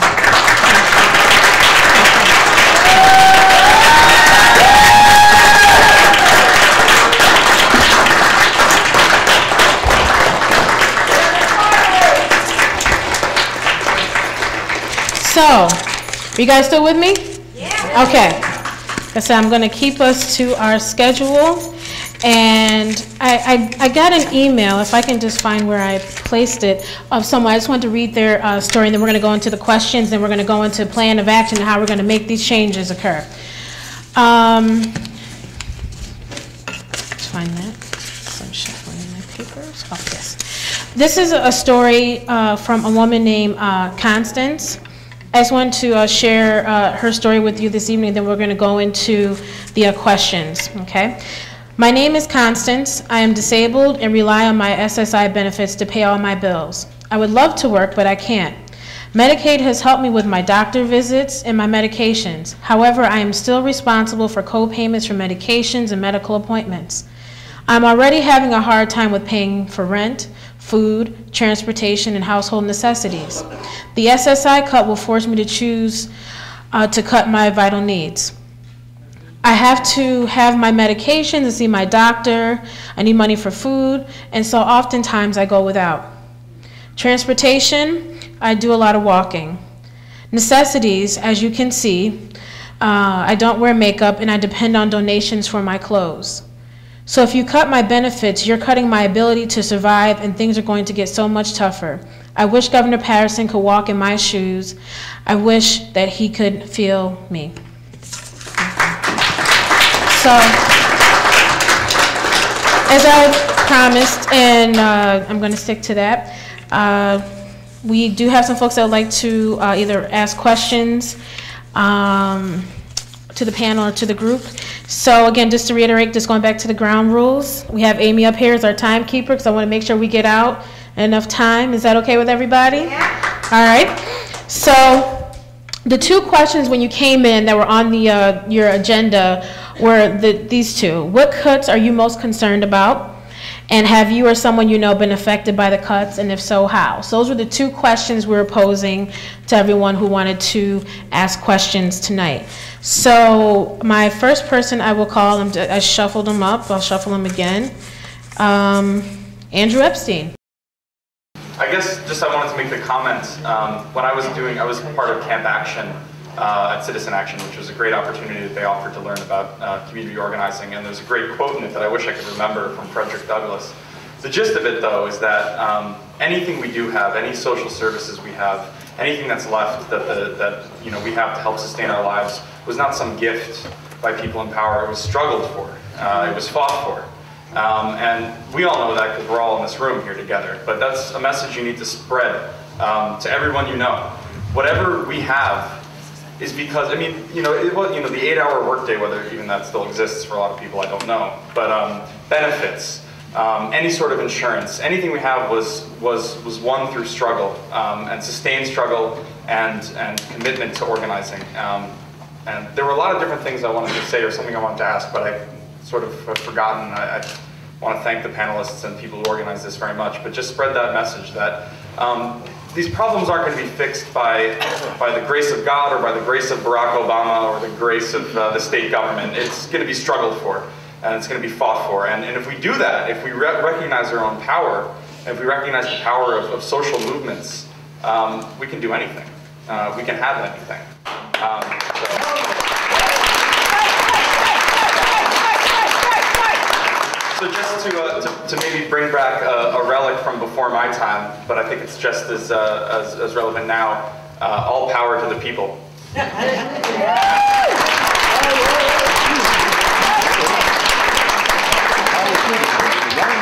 Uh, the next question is from Mariam Belly. Did I say that? Oh, hi. hi, can you hear me? Yeah. Yes. Okay, my name is Marion Belly. I'm actually Binghamton University's Vice President of Multicultural Affairs. And I wanted to come speak today because a lot of the students that I represent are people of color or people that come from backgrounds where they're underrepresented and a lot of them are first generation college goers. And as a result, for them, this tuition hike that's happening is an unnecessary burden on their family. For family, for families like mine, you already had a budget. This was how much we were going to pay for college. And for us to have a mid-year tuition hike without any type of divestment coming from that money going back to the university, we feel as if it's an unnecessary burden. And I wanted the people of the community of Binghamton to know that we stand in solidarity with you because if we're unable to come to college because of these unnecessary tuition hikes, then we're unable to interact with the community and we're unable to give back to the community. I know that there are a lot of members of our campus that do community service work or even oftentimes come to rallies like these. There are a lot of students who were here earlier. And for us, we care about what happens to the community because in order for us to be successful, we need to have a welcoming community. And Binghamton has been nothing but courteous to the students of Binghamton. And we want you to know that we stand in solidarity with you and that whatever happens, we'll always be here. Thank you. Thank you.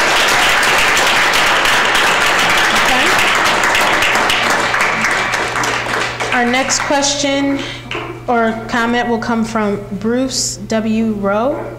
Bruce? Good evening, my name's Bruce Rowe, I live on um, Isbell Street.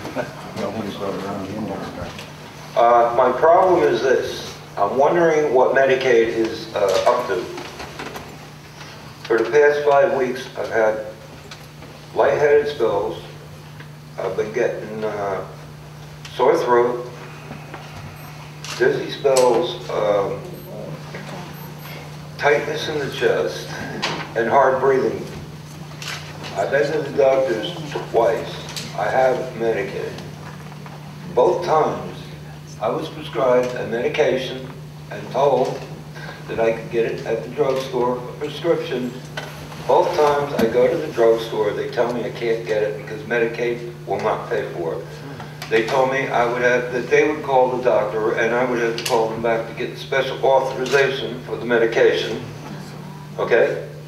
And both times I did not get the medication, both times they did not get back to me. I still don't feel good. Some of the dizzy spells are less, uh, uh, it's getting less intense, but I'm still getting the sore throat and some soreness in the chest. Now, what's the good of having Medicaid? And what's the good of going to a doctor if these doctors are going to charge Medicaid, which they shouldn't be allowed to, to let a, a, a patient come into their office and then prescribe them a medication that Medicaid won't pay for, and when you get back to them on this, they won't even prescribe a generic brand or a medication that they will pay for. Now, I had this happen twice in the, this month alone, in the last five weeks. I still don't feel good. My throat feels raw. I'm getting some, uh, you know, some uh, uncomfortable in the chest. And I went to the doctors twice. I can't get the medication. And when I talked to the nurse, they said, well, it's really not our fault, okay, because the doctors don't know what medications are on the list Medicaid will pay for and which ones they aren't. So is this their new way of squeezing out Medicaid patients by telling you they can't give you the medication because they won't pay for it, the doctor won't get the special authorization, and they don't get back to you to give you a generic? So what's going on with this? This is not right. It should be rectified. Thank you. Bruce.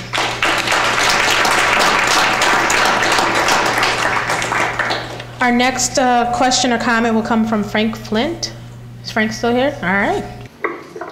Thank you. Uh, being a senior citizen, I could tell you millions of war stories. I've been through just about anything and everything that, except Medicaid maybe, that people have talked about tonight. Um, I work for a company uh, down the road that uh, I've worked for for 27 years. They decided to leave town, and so it left myself and many other people with no jobs, and no jobs ever available. So we have health problems, my wife and I, uh, all this time and what have you. So we did find Citizen Action in the mid-90s. And I will say, they've been a savior for me. They've helped me in many, many aspects. So that's one thing. And Richard Kirsch, uh, who was the New York director, uh, has put on many speaks along the way. And one of the things he said that I will never forget is that there's two ways in this country to get things done. One is money. We know that. okay? Legally, illegally. And when we speak of maybe a millionaire, is it Mr. Maine with the E on the end? Got it.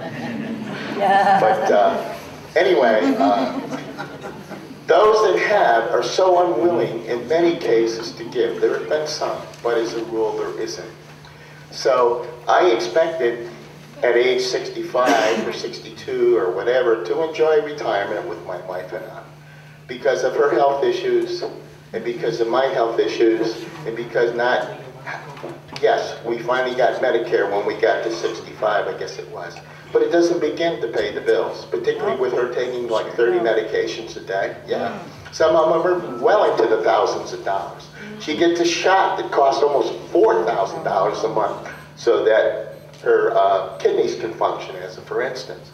So I live up the road. I've got involved as a trustee for the village uh, of Endicott. I guess I might just well say that. I stepped up to the plate like Lea has, and she should be proud of doing what she's doing. Um, in addition to that, I went back to work. I expected to be off enjoying my life, playing softball, I'm a sports fanatic, things like that. Uh, that hasn't happened. So I work at one of your middle schools in the city of Binghamton, so I'm, I'm dealing with the kids firsthand. And they're already very deprived of a lot of things. We can't even get a, a, a basketball outside so the kids can play basketball. Instead, we have to control their fights or whatever, because they have a lot of energy. And if we can provide it in a positive thing with youth programs and what have you, they'll use their energy to do that if we guide them that way. So that's another little aspect. But uh, my time up? Yeah. Okay, I'll leave you with this. There is no right way to do the wrong thing. And that's what we're doing. So let's keep going together. And as long as I have life, I'll be here with you.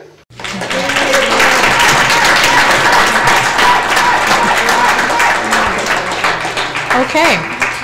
Tanya Freeman? Yeah, my concerns are about the SSI cuts. Um, I'm on SSI and I have to pay rent, NYSEG, my medication. I gotta pay child support for my daughter.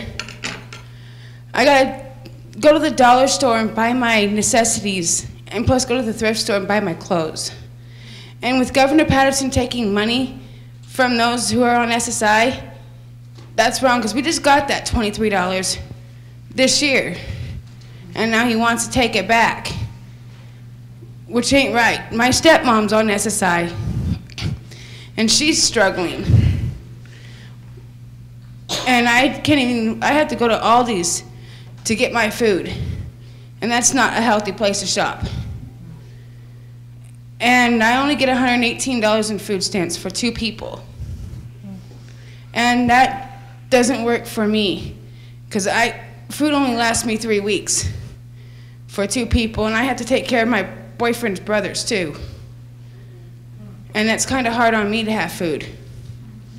And it's kind of hard for all of us who are struggling, with the economy the way it is. And the way the economy is, it's kind of hard for all of us because I'm not really from Binghamton, New York. I came from the West, Northwest, Billings, Montana, out here. And, and there, they're only getting like 600 and something a month to live on. And plus with the rent going up, my NYSEG bill is like over $800 because I'm struggling to pay it. And it's kind of hard. And that's all. Thank you. So I, I want to do uh, a time check. I know I have a couple of more cards here, but I just want to pose this to the group because I know Mary is going to come up here and tell us all how we're going to address these budget cuts. So we're at 7:55 right now. We're supposed to end at 8 o'clock. Can I ask for an additional five minutes? Yes. Is that okay with everyone? Yeah. Five, maybe seven. I promise it won't be more than that. Okay. Is that okay with everybody? Yes? You still with me? You haven't drifted out of me?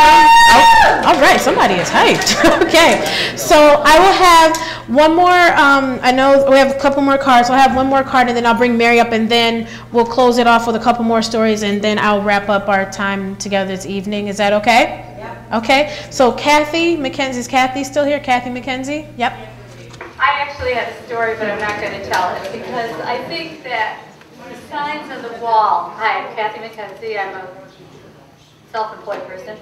And I used to be an adjunct at the university, and I had to, I guess I'll tell you briefly, I had to resign to keep my child's Child Health Plus because Governor Pataki some years ago required that New York State employees, or, or prohibited them from getting Child Health Plus even if they were part-time and couldn't get New York State health insurance. So I was advised by the health plan overseer for New York State to resign my position in order to keep my child's health insurance. Now, here's the important part. The things we're worried about right now are on top of what's been happening and that have put us all in whatever little situation we're in, or whatever grave situation we're in. I don't feel I'm in a grave situation, but I see people in grave situations all the time, including in my family and loved ones, and all I have to do is look left and look right, and you see people that are working hard, kind people, people who, the crossing guard and her son, you know, who can't get Family Health Plus. Plus, and they watch those kids every morning and save kids from getting hit by cars every morning. Don't forget the focus of this rally, which is that 6.85%. For how long has that gone on? 20 years. How 20 long? years. 20. The 6.85% for three massively disparate categories of income. And nobody's worried or upset that, as the gentleman earlier said, I think it was Bruce said that how many millionaires or quarter millionaires will give anything. Oh, not many. It has to do with whether or not we hold society responsible through our legislators, whom we voted for, and then turn around and we don't say to them, you need to tax the wealthy more. And Governor Paterson, he, he knows this. It's, it's a little mis mysterious to me why he doesn't want to do this. But when I heard him on the radio two weeks ago say, I don't want to take a look at that tax bracket until I see where the cuts can be made already in the budget. And I'm thinking, the, the budget we've been having for all these years has crashed because we haven't done that yet. Because we haven't raised those taxes yet. And that's what I want you all to think about when you write your letters and your emails and make your phone calls and talk to your legislators, is just hammer them about that tax rate. Thank you. Thank you, Kathy. So I'm going to bring Mary up at this time, Mary Clark. She's the Regional Director of Citizen Action. She's also my boss, so I have to bring her up. I'm just kidding. Actually, I, I think Mary, she's a very wonderful person. She gets two minutes just like everybody else. Um, Mary is the regional director of uh, Citizen Action. She is going to lay out a plan of action for us to take with us as we leave this evening. And for those that weren't able to join us tonight, if you can spread that message to your colleagues, your friends, everyone, because again, this fight uh, will not end here in this room tonight. It must continue on. So if everyone give Mary Clark, regional director of Citizen Action, round of applause. And she's wearing my favorite color, but. Good evening. Thank you all for coming out. I think it's so important that we're here today and we're joined with people all over the state to really send the same message. And uh, and what is that message? Oh, we need a fair share tax reform and uh, cuts. And stop the cuts. And I think I think the governor will hear us. It's unfortunately our legislators and our governor's rep are not here tonight. Um, uh, What? Neither is here. Um, there was, uh. With- Donna. Donna called and said she was stuck in Albany. Uh, I know Senator Libous is also having his fundraiser tonight over at, uh, number five. And, but they were hopefully gonna send rap, And I don't know where Kevin McCabe is. Um, but the mayor was here. so one of the things is that we need to take the message to them. And so what do we, I'll have Ed give us that one more cheer again. They say cutbacks, we say cutbacks, we say They say cutbacks, we say I, I'm going to tell you how we can fight back. One of the first things that we're going to do is we're going to schedule call-in days every Friday until this budget is done. And so tomorrow, they were not here tonight, and we need to have them, every one of us in this room needs to call tomorrow morning, call Senator Libous and call Kevin McCabe with the governor's office and say, where were you? We were all here. We had some 200 people out there on the front yard, and now we have some hundred, I don't know, 2,550 people in here today, and we have a message for him. And we need to call and say we need a fair share tax reform, and we don't need these budget cuts that cut vital services to education, healthcare, uh, and all our vital services. So how many in this room will make the pledge that you will call tomorrow? Both of them. Yes, you will. okay. Yes, you will. How many will get two other people to do that? Two other people. Okay, all right. That's what we need to do. They need to hear that we were here today and they weren't, but we're going to still carry the message to them. So that's the first thing that we can do tomorrow. Um, every Friday, we want people to do that. We do have to, uh, one thing we also like to thank our representatives who are supporting us, and Donna Lupardo has already taken the pledge to support the fair share tax reform. So I think we want to thank Donna as well. So, but we do need to call Senator Libous and, and Governor uh, Paterson tomorrow, and everyone needs to do it and get two other people to do it. The next thing that we want people to do is we need people to collect petitions. We've got uh, tons of petitions out there on the, on the, as you leave, we want people to really go out, collect petitions, get them back to us, you know, by, we're saying by March 25th. Uh, but what we want to do is also try to get people's emails because if you haven't put your email down, we need it because it's a way that we can communicate to you as things happen quickly because things with the budget are going to be happening quickly. And it's going to go week to week, so we need to be able to call you out. But every Friday, we're going to be making those calls until they do what we want them to do. So is everyone in on that? Okay. We have a whole list of other things. We're writing letters to the editor. We're doing a whole variety of things. On a blue sheet you have... One person at a time, everybody. We're asking people to actually fill out that blue sheet and make some commitments because we're going to be doing a lot of tabling, collecting petitions, collecting petitions at work, really trying to spread the word. And if you don't want to call on Friday, it's okay to call other days of the week. But we really need people to organize those calls because we want them to hear from us and hear from us every week until they do the right thing.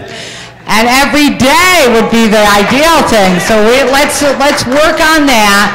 So I want people to fill that out, and there's going to be ongoing things happening every week. But the first thing is the calls and the petitions that we need people to do. We'll be continuing with visits. A lot of our organizations are going to Albany and throughout the month of March, and we can keep you updated when and where those things are happening. So fill out your form so we can keep in touch with you, but tomorrow make your phone calls as our first step. And uh, I think we can win this. We're really pushing them. The governor's on the verge like, He's going, well, maybe after we do this, we'll do it. But I think we are going to be able to win this one, but we can't win it if we remain silent. So we need your voices uh, so that we get better choices. So I'm going to let everyone, I know it's a late uh, evening, but thanks. Uh, wait, for, wait, wait, wait, wait. uh, oh, oh, Miss Lea. I'm going to turn it back to Miss Lea. but um, get the petitions, make the phone calls tomorrow, and uh, we'll keep in touch with you as things happen. Every week there's going to be activities to do. So thank you. Again, give yourselves a round of applause for coming out this evening. Thank you all to you aggressive progressives. Um, I just want to wrap up with a few brief comments. Can we also give a hand uh, to our panelists? They did an excellent job. So as Mary said, and as I said at the beginning, our time together tonight was not only to inform you, but to empower you to action. And so please make sure you fill out that blue volunteer form before you leave. Leave it at the sign-in table. Take the orange petition sheets with you. Okay. Also, there's a pink sheet that talks that gives the phone number to our legislators. Call them. I just want to wrap up with a few couple of comments and then thank you all and let you go officially. So, in conclusion, I just want to say, and it's been said throughout our time together tonight, we really do need a, a fair share tax reform here in New York State. Okay? It is about time, way over time, that those that can afford to pay more actually do their fair share. So that we're not putting these, I'm almost finished, you guys. Almost finished. Guys, have your attention for three more microseconds. Okay. It's important that we implement this fair share tax reform plan. And there's actually a, a bill in the Senate right now that reflects this. So it's really important that we make those calls, that we ask them to support uh, the fair share tax reform plan so that we're not put in positions where we're asking working families to, uh, to suffer the burden of having their education cut, health care cut, losing jobs, having the sacrifice, but yet we're not asking the wealthier of us to do their fair share. So again, it's really important that you all do not lose sight that this budget is supposed to pass by April 1st. That gives us less than one month. So we're asking you to commit yourselves this month to send this message to fight the cuts. Because what's the quote, Ed, as you said? Can you say it one more time? They say. They say cut back, we say fight back. They say cut back, we say fight back. And we only have less than a month to fight back because again, the legislature is going to pass this budget by April 1st. So it's really important that you reach out to everyone who wasn't here tonight to ask them to participate in this fight. And I will close our time. I want to thank you all for your attention, your um, coming out, and uh, thank you all. I also want to thank all of the uh, speakers that were at the rally, the different unions that are here, CSEA, NYSUT, PEF, SEI, 1199 SEIU, Working Families, Citizen Action. Did I miss any other groups? No? Teamsters, Stepping Stone, our Youth Build, UUP, STIC, Four, Four Seasons. Everyone, you all give yourselves a round of applause. Get home safely. I'd like to thank Amy, our timekeeper, yes, and everyone that helped put this together and all of our video recorders that were here tonight. Thank you.